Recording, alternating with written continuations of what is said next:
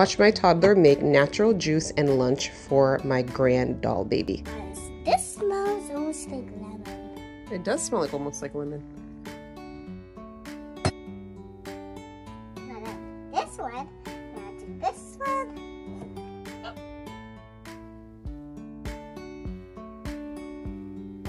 That's how you squeeze. You turn the lid You do turn it around so the seeds don't fall in.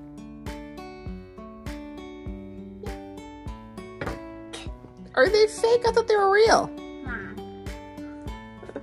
What else are you gonna make for your baby? What is it?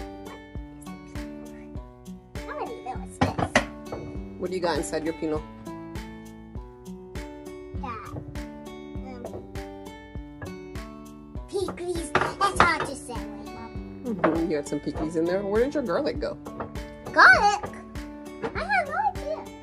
Oh my gosh, there's so much stuff in this kitchen. We get confused. Oh, sweet. Is it this way or that way? The other way.